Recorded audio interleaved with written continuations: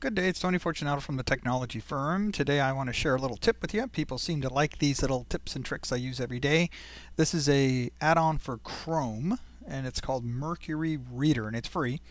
And what it does, it's quite easy. It, it takes uh, any web page and turns it into a proper article format without all the extra noise that you would normally see when you go to an article.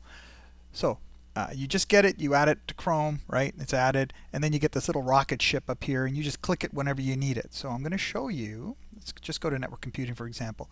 This has a whole bunch of stuff. Not just it's not just an article, right? This is the main page. I just want to show you what happens if you try to do too much with the tool. So you're going to come here and click the little rocket, click, and it says, hey, warning, Mercury Reader works best on individual articles. Are you sure? And you can render it anyways or cancel. I'm going to cancel that. So this is what happens when you don't have an article or there's just way too much going on. You can force it, but you might want to double check what it does when you're when you're done with it.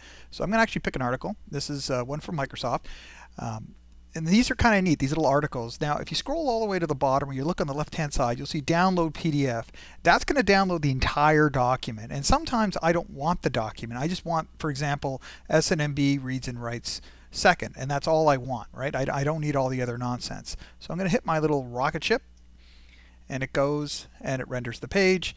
And now, you know, with the exception of this this big image here, the rest of it is actually fairly good format. You see, nice and clean all the way down and there you go.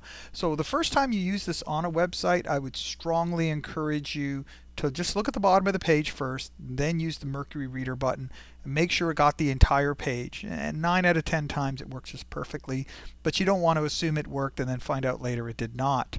So now that you have it in Mercury uh, Reader, you have a few options, right? At the bottom here you can see there's there's an email, you got good old Twitter, Facebook, or in Chrome if you want, you can just do the old print feature and then save to PDF and then just save it as a PDF format, right? And there you go. See that? So I hope that helps. I, I, do this a lot because I read a lot of articles. Sometimes I want them offline for just reference or just, you know, whenever I want to read it sort of thing. Um, and that's it. Have a good day. Bye for now, folks.